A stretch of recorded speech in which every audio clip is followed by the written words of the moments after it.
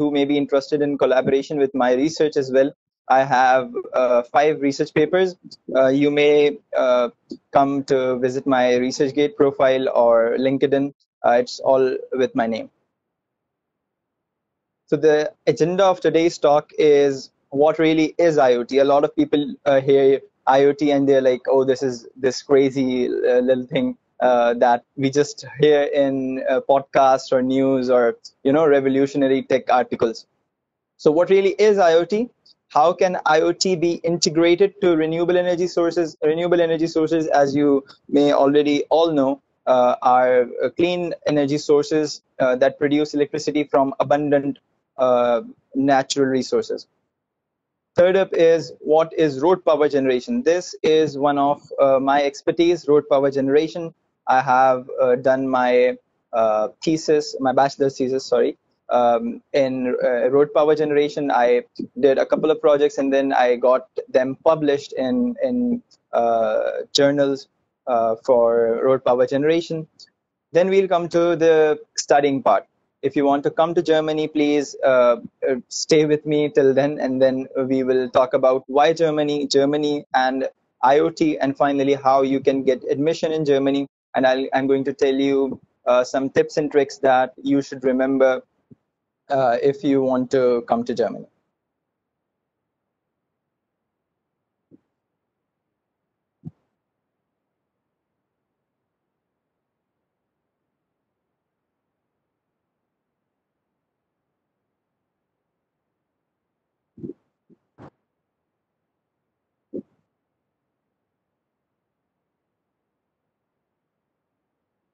There is some error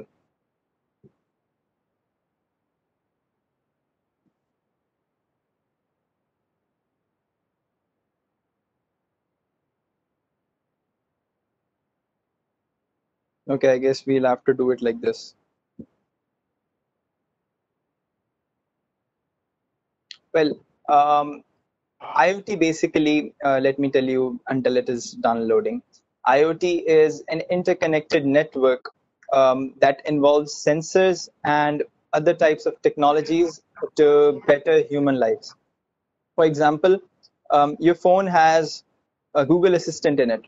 It does not exactly use IoT, but it is uh, a mixture of um, IoT and AI.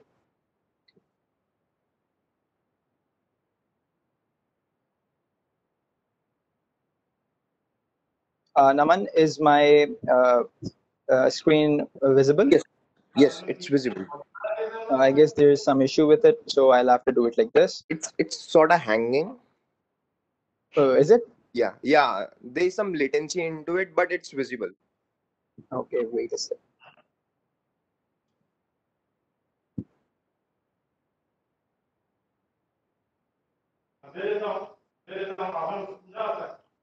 मैंने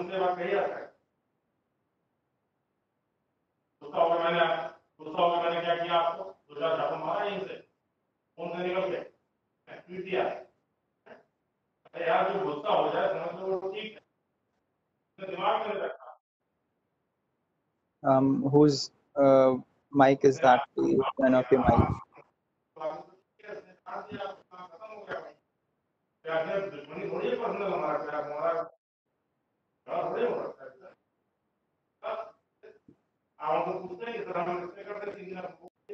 अनुष्का निगम करती है उसमें मुझे phone करके क्या अब मैं कर देता हूँ अलाउ कर देता हूँ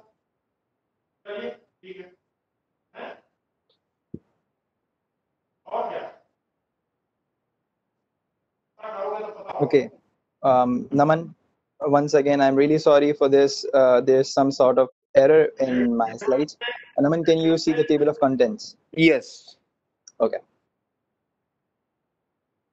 So uh, the outline of this presentation is as follows. We'll just dig into it. Uh, we don't have much time. So the introduction to IoT, as I already told you, it is an interconnected network um, which can be connected to the internet and network devices. So let's dig into some practical examples of what IoT may offer. Um, as you already have uh, uh, already have heard of the Sustainable Development Goals of the United Nations, I'm going to talk about the Sustainable Development Goals first. as engineering students, uh, we all should uh, contribute to the society, and I'm a big advocate of contributing to the society. And I think as engineers, uh, there are four main goals that we should um, uh, participate in as well. Number seven, as um, you can, I guess, read, uh, is the affordability of clean energy. So the, the production of clean energy is in our domain. So if you are an electrical engineer, you will be working for some company for your country, and you should be able to uh, learn different techniques of how to produce clean energy. So clean energy sources, uh, clean energy sources are uh, renewable energy sources. And renewable energy uh, is in the uh, has you know solar panels wind power and the third is road power generation technologies that we're going to cover in our upcoming slides. Number nine the industry innovation and infrastructure. That is up to electrical engineers as well or computer graduates to automate the industry to enhance the production of the industry that's up to us as well. And finally 11 uh, on point 11 the sustainable cities and development so community sorry. Uh, that is up to us as well. If you if we want to make sustainable cities um, we just uh, we have to uh, rely on iot and in turn we have to be engineering graduates. And one last point that i would like uh, to mention that often gets neglected and that is quality education.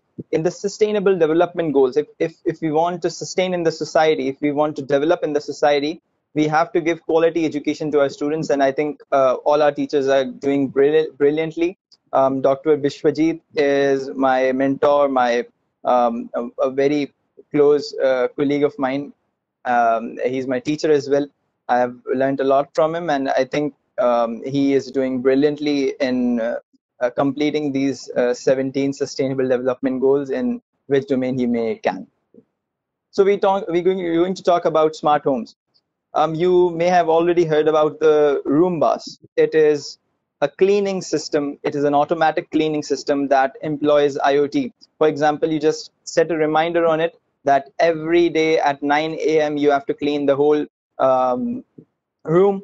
It, you just deploy it on one a specific point and it maps down every inch of your room and cleans it and mops it for you.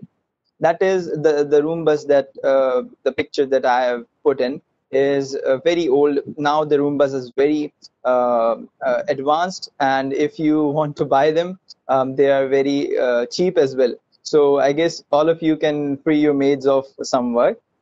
The second is automatic automatic guest system so if you want, uh, if you are not at home and some guest pops up at your home, and you uh, you have some time to come back, eventually uh, you'll have to ask them to wait. But with an automatic guest system, you can uh, ask them for the password, and they can right away enter in your home uh, with some speech recognition uh, tool that your house may have.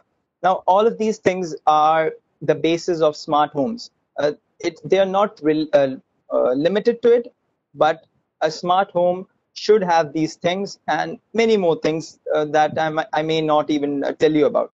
So it's up to us as engineers to think about it, to employ how we can uh, benefit ourselves in a smart home. The third is automatic coffee maker. I, I guess all of us have uh, seen uh, it in the movies. it was in, I think, John Wick. he had automatic uh, coffee maker and that movie was in 2014 so uh, that's not a, a hard thing thing to believe in. And one of the most interesting parts about smart homes is the smart lighting. Um, i think smart lighting is the best feature that uh, anyone can have. If, if it's a party you can uh, increase your lighting. If it's uh, if it's a birthday you can change your lighting. If it's a movie night you can change your lighting so all of these things are being done, and there are even cities in India. Yes, there are cities in India that are using smart city technology, and we're going to talk about it in the slides below as well. Smart cities. Smart cities are cities that are built for six purposes. The first is for its smart economy. The economy is driven in in layman's term. The economy is driven by the rule of supply and demand. So, for example, if the supply or the demand of one thing increases, supply has to increase as well. Um, as co- coronavirus pandemic happened, uh, the healthcare facilities were eventually increased. Um, so there was a lot, lot of demand, but not enough supply, and as a result, our healthcare crashed in Pakistan and India. And it's, it was really unfortunate, but that's how it happened. So in a smart economy, uh, you don't have to worry about uh, market crashing or uh, your economy crashing because everything is connected to supply and demand. As the uh, the production of one thing will uh, or the demand of one thing will increase, the production will also increase. The second is the smart people that uh, that uh, contain in the society. So uh, I think the main point here is they should embrace creativity. If they are not creative enough, if they are not reluctant to change, as was the case with us uh, 200 years ago, uh, in general, Pakistanis and Indians, we were the subcontinent, uh, and it was really tough for us because we did not embrace change and creativity. Third up is smart mobility. Uh, mind you, there are cities built on just one purpose, and that is smart mobility. Smart mobility is a very vast domain, and smart cities are doing uh, a brilliant job in uh, in uh, integrating uh, the the mobility services with smartness of the city. Then it's the smart living. We have health and safety. Then the smart government, our elections should be transparent and should be open. That's a very hot topic in Pakistan and India, even in the US. So smart governments are the need. I think you know, we'll be seeing uh, a one world government as well uh, in uh, in about a century or so. And finally, is the smart environment that um, uh, that a lot of people talk about at the United Nations, not a lot of people are doing um, some work in it. So these are the basis of smart cities. Now we're going to come to our electrical domain as well. What uh, what electrical engineering has to offer to uh, to um, the society, and that is a smart grid. Um, as you may have already learned before, this is just a brief overview, but a smart grid is an electrical grid which includes a variety of operations and energy measures, including smart meters, smart appliances, renewable energy, resources, and energy efficient sources. So basically, a smart grid is an interconnected grid system which has two-way um, electricity flow. So if you're producing electricity, you can sell it to the grid as well. And if uh, your electricity runs out, you can buy from the grid as well. So smart grids have self-healing capabilities and enable electric customers to become active participants. Um, in Pakistan, we are having this uh, hot topic on um, uh, should we have uh, smart grids uh, in our in, in, our national grid because they are not enabling us to sell to the grid. I think uh, India has this option in in some of the states where you can where sorry where participants or users can sell to the grid and benefit from that. But in Pakistan, unfortunately, we do not have that till now. Okay, one last thing uh, that I uh, uh, forgot to add or want to talk about uh, is cyborgs. Um, you may have already heard of this term in uh, sci-fi movies, but uh, that's not fiction. That is a reality, and you can check out a YouTube channel named, um, I guess, Robocom. Um, they produce robots that think like humans. So uh, that's just a teaser for you guys. You can check out their YouTube channel. Finally, we're going to come to our domain, and that is IoT and renewable energy uh, resources. So renewable energy sources that uh, you already know are clean energy sources that produce no carbon footprint and which are not harmful to uh, the environment or they are abundant in nature. So when I was um, in in my fourth semester or fifth semester, I thought about uh, what other types of electrical energy are there, or what other types of renewable energy sources can be made. Uh, one thing that popped to my mind was uh, there is a lot of vehicles on the road and we are not uh, doing our best to integrate those uh, renewable oh, sorry vehicles with our smart grid or our grid. So in turn i thought of um, how we can produce electrical energy from roads or from vehicles in in general. Um, we're going to talk about that. But first what is uh, how can iot benefit uh, in renewable energy sources? So what i did was i uh, took solar panels and I employed a solar tracking uh, monitoring device that you all may have already done.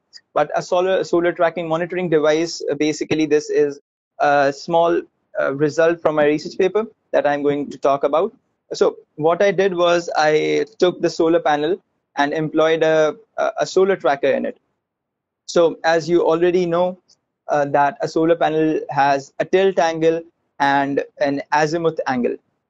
So these two angles are the uh, are the building block for any solar panel.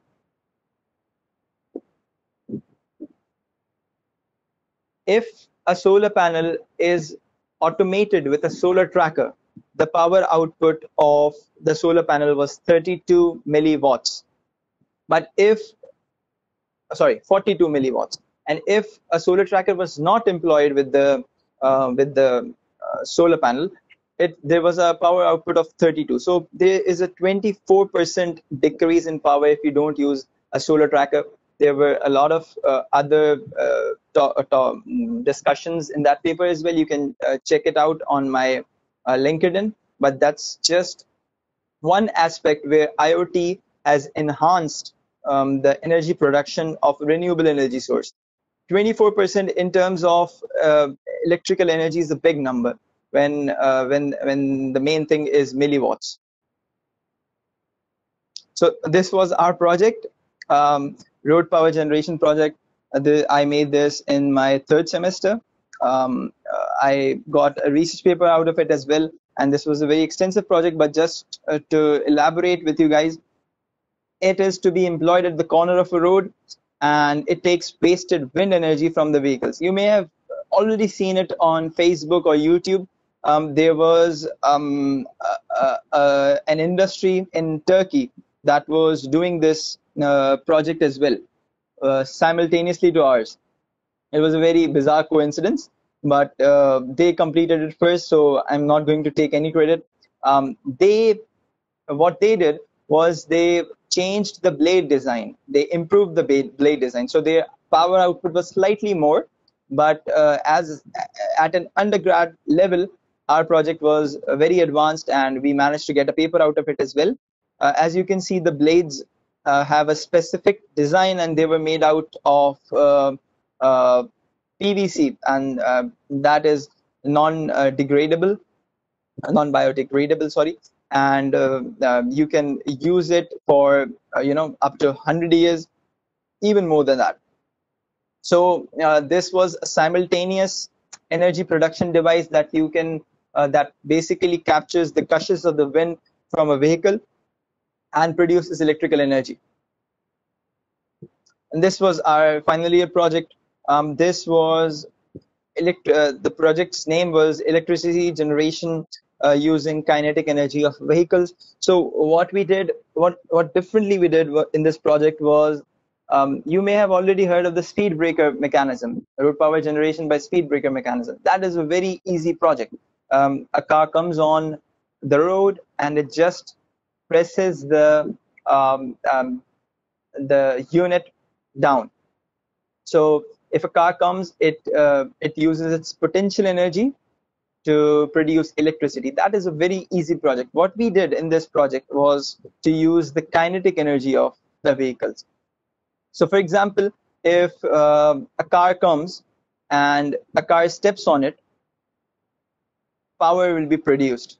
And the main uh, good point or the main crux of this project was it uses kinetic energy of the vehicles. It used the circular drag of the tires instead of the vertical drag of uh, the vehicles.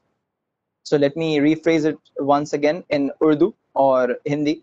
Uh, अगर आपके पास ये device है तो गाड़ी उसके ऊपर से गुजरेगी और उसको नीचे प्रेस करने के बजाय इसको हॉरिजॉन्टल डायरेक्शन में खींचेगी और जब वो उसको हॉरिजॉन्टल डायरेक्शन में खींचेगी in turn you will produce electricity uh, from the mechanism below uh, that is uh, uh, both of the, these ideas are uh, my research papers you can uh, read them out and you can even consult to me how you can make or you can add something in these projects yourself so if there is any question regarding iot you may um, uh, type it out. I'll uh, dedicate five to 10 minutes at the end for that. Uh, now we're going to talk about why you should opt Germany um, as, uh, as a study uh, destination. So why Germany? Uh, Germany has a history of innovation and ingenuity. Um, as you may already know, Max Planck and Albert Einstein, Heisenberg, Kirchhoff, Hertz, all of these big physicists, all of them studied at Germany. Um, Albert Einstein, we all know by uh, by his work uh, of uh, relativity. Max Planck, the Planck's constant. Heisenberg for his uncertainty princip- principle. Kirchhoff for his uh, voltage laws or uh, current laws, and finally Hertz for his um, work in the frequency or time. So all of these great scientists were the students at Germany. And I think uh, Germany is a study destination that offers a lot to its young students. So um, one of the reasons is that. The second reason is the invention of the modern university was in Germany. There were a lot of old universities uh, in our subcontinent and in the Arab uh, uh countries as well. But the first modern university, the Humboldt University, that is in the top 100 at the moment as well, uh, was in uh, Germany. And Germany has a very high international students ratio. Uh, about 13% international students study in Germany for undergrad, postgrad education as well. Their qualification is world renowned. Uh, next to UK and US, they have the most top ranked universities. US has the most universities in the top 100, I guess. Uh, sorry, top 300. And uh, UK uh, has the second most, and third is Germany. And the affordability. This is one of the main uh, concerns that um, led me to choosing Germany was the affordability that Germany has.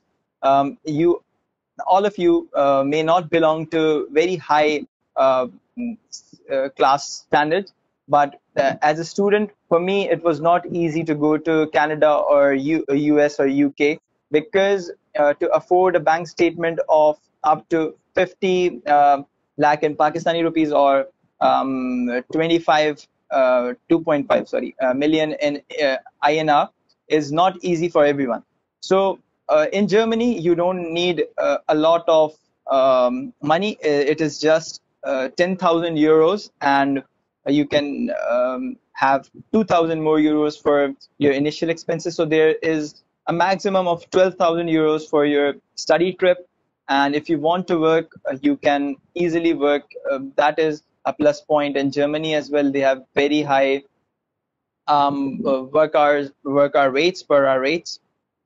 So the types of universities. Uh, unlike our Pakistani or Indian universities, Germany has four types of universities. We just have um, universities and applied science universities. Uh, in Pakistan and India, they are generally thought of as the same, but in Germany they are different. So the first are research university, the Universität. Um, these Universität are nine types of universities. So um, my university, um, uh, TU Dortmund, is a technical university. Generally in Germany, research university and technical universities are thought of as the same because they focus on coursework more. Uh, but the Fachhochschule is uh, the University of Applied Sciences, they generally focus more on the diplomas and uh, those types of things. And finally, the fourth type of universities in Germany are the College for Arts and Music. Why choose Germany as an IoT uh, or a study generation is because they have a very high percentage of automation and IoT related jobs when I uh, wanted to go abroad, I uh, saw job listings, and almost one out of three jobs were in Germany. So I definitely knew if uh, if I were to progress as an individual, I have to go to Germany uh, for a job or a study uh, visa. Uh, so I I got enrolled in TU Dortmund in automation and robotics. You all can apply to TU Dortmund as well. Uh, in in the in the March uh, intake, we're going to talk about how you can build your profile to apply in any university and not get re- rejected. Because it is easy to apply and get rejected and that time will be wasted uh, because you have not planned well before uh, on how to apply to a university. So these uh, 15 minutes are very uh, crucial. Please uh, if you have a pen and a paper you can take it out and you can directly ask your questions as well so germany uh, the iot industry of germany is very advanced and in fact the industrial revolution 4.0 was started in germany. Um, the the main thing between the industrial revolution and iot is the connectivity and automation. So for iot you need to involve sensors in every device. You have to put sensors in uh, as small as a people. uh, as small as uh, ant sorry uh, you have to put sensors in those as well so there are up to 28 billion interconnected IoT devices at the moment. 28 billion is a huge figure. And uh, considering the figure, uh, the uh, Europe is responsible responsible for 23% of global IoT spending, and out of the 23, 13% is uh, responsible. Uh, Germany is resp- responsible for it. So, in automation and uh, robotics, in IoT, in the industrial revolution, Germany is unmatched. Uh, you can uh, tally these figures on their statistical um, website that they have as well. Now, what are the main requirements for Germany? Well, these are very generic requirements that I uh, that I am talking about. We'll going go into the depth of uh, those later on. But if you have a 16 year of education and you have English or German language proficiency certificate. Now, uh, in, in Pakistan, I don't know about India, but I know a lot of students do the IELTS and uh, GRE, oh, sorry, IELTS and TOEFL in India as they do in Pakistan. But in Pakistan, everyone wants to say, uh, can we get into Germany without the IELTS? So my answer to those people is uh, it, it is a very small investment in your future for example, $200 uh, is not a very big amount. If you continue to save $1 for uh, an year, you will get $365. So just save that amount and give the IELTS, give the GRE.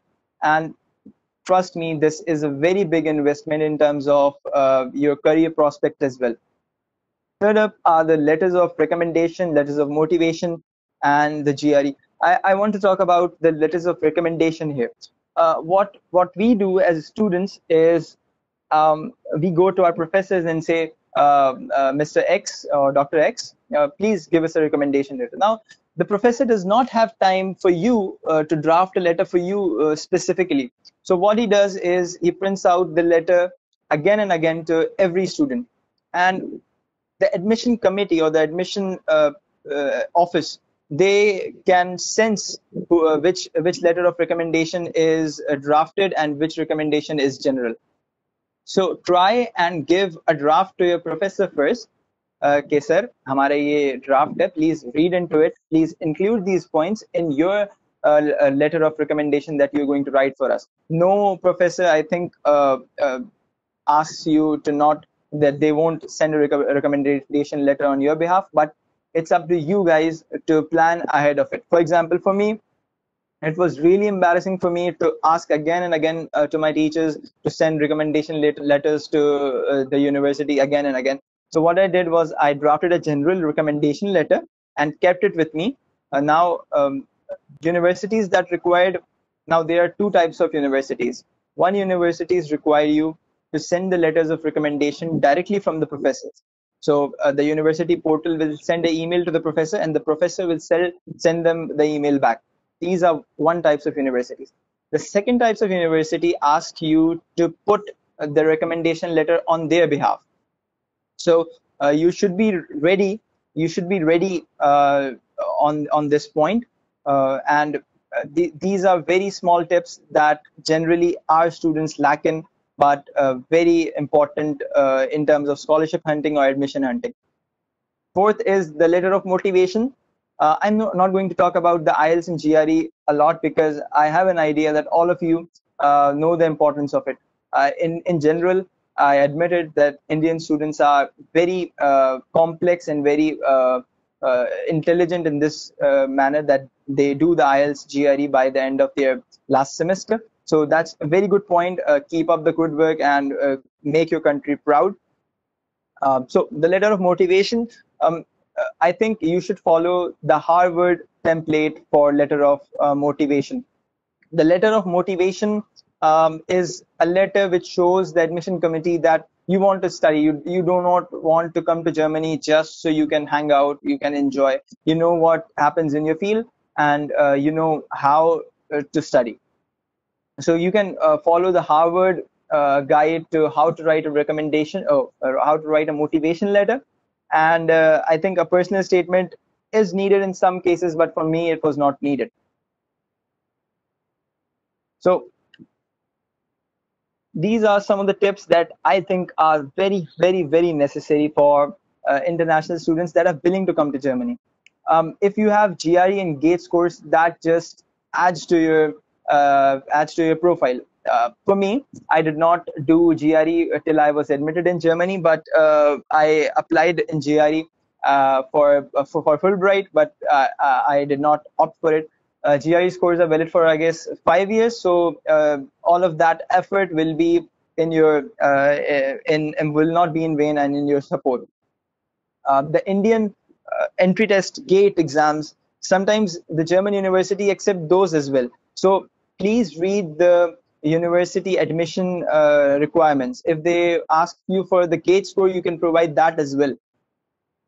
Second tip, and I think this is the reason that I am del delivering this talk to you as well, um, is universities love research papers. Universities love publications. If you have a percentile, um, as Naman earlier mentioned, if you have a percentage of 70 and your colleague or your uh, fellow class fellow has a percentage of 81, and if you have two research papers at the percentage of 70, I can assure you, you your profile will be much heavier or much uh, uh, easier to get in than the person than the person who just has a profile a percentage of 81.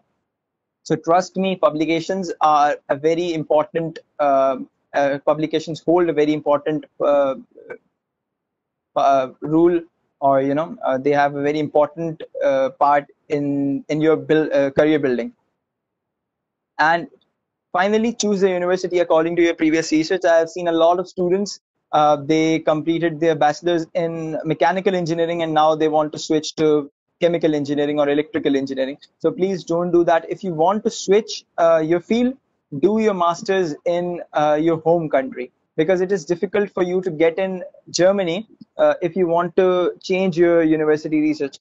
Um, now the concern for students is that sir हमें तो admission मिल गया अब अब क्या मसला तो मसला ये है कि जब आप वीजा के लिए भी अप्लाई करोगे तो they ask you if you have changed your your bachelors for example if you say i uh, i completed my bachelor in electrical and i'm now going in a program with uh, civil background uh, they will be hesitant to give you a visa because they will think that you will not be able to complete the studies and you will come back to your home country or you will slip in their country. So they uh, hesitate in giving the visas to students uh, on that matter. Admission process in universities, German universities, is comparatively very easy. You just have to go to the home page of the university, and most of the universities have a specific portal that they use, and that is um, the UniAssist. So you send your documents by post to UniAssist, They check your documents and they send your documents uh, on your behalf to the universities as an intermediary body. So uh, you should al- always know what the deadlines are and at least apply two to three months before.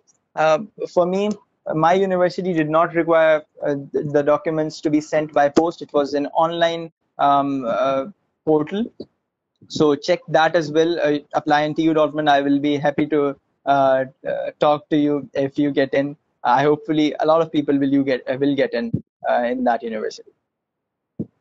So this is all. Um, thank you so much for joining. I am now coming on base.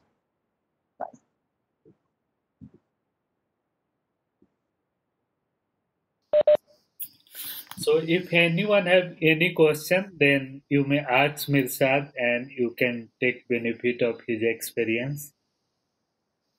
Naman? Uh, hi, Mishad. Uh, Hi. again, uh, just a quick question. I wanted to ask uh, SOPs, which are statement of purpose, right? Yes. And uh, like shortlisting universities and meeting the deadlines. So they are they are consultancies for that, right? So Yes. uh, what would you suggest? Because I think consultancies are more of a time saving. Those can these people can save you a lot of time, which you could really put into other things. So Um, I'm not- I don't think so. Uh, Naman, uh, I am a very anti uh, consultancy thing because I think you will be paying a hefty amount to them just to get an admission in a university that you can uh, do on your own. Personally, I got admitted to six universities in Europe. I just applied on their portal. I just sent documents to those universities. It is a really easy job uh, to apply. I, I applied in six and I got in six. That was my ratio. So I think uh, as a student uh, with uh, you know so much potential, you should apply yourself. You should not rely on consultancy services. A because um, the the percentage of fraud is very high. Uh, in Pakistan, I have seen a lot of students um, who, who you know uh, they waste their money by applying in these firms. I will highly recommend you to apply um, yourself. But if if there's someone who uh, you trust, you can go to him. But I would recommend not to go to him. The the universities are very easy. The process is very easy. You just have to you know uh, keep poking in uh, and completing uh, what is required. Uh, there is uh, not a lot of uh, difficulty in applying. Right. Uh, also, I had this query. Um, uh, now there are two kind of uh, courses offered in Germany, and the English Yes. taught and the German taught, right? Yes. So I've heard that uh, the English taught program is a little tougher to get into, and while the German ones are a little easier. Yes, that is the case because the German applicants, uh, their their seats go unwanted. A lot of seats uh, do not get filled because there are so many universities and there's so many programs. It is only wise for them not to fill the seats. I think uh, getting into a in an English taught program is not difficult as well. Um, uh, if you apply to at least four universities in Germany, I think you can get into one good university. And uh, always choose the university according to your profile. So uh, if my profile is very, uh, I I would say low, I would not apply in TUM or RWTH. So I think it is important for students to uh, know uh, at what level do they stand on. Uh, okay. Also, uh, another query that is related to the language German. So, uh, how do you suggest we should go about learning it? We should learn it before or after getting into the university because if we learn it before, then we can uh, drastically like suppress the, the amount of homogeneity we'll be surrounded by in Germany. We can really interact with different kind of people. The language barrier wouldn't be there. Trust like- me trust me learning german is uh, is one of the bases um, to be happy in germany because a lot of students uh, go, come to germany and they're like uh, we can't speak german now and uh, if you go uh, there there was one incident when um, a friend of mine went to the grocery store and he was like uh, what is how, how much is this and the german was like uh, this is not UK, this is Germany. And he felt so embarrassed that he never talked in English to any um, anyone in Germany. He, he tried and spoke in uh, the broken German that he may speak. So I think learning German is very important, and I think as students you should enroll in Goethe institutes or uh, the bodies that are recommended on the German con- consulate websites. Uh, please check those. I don't know uh, if a Goethe Institute is any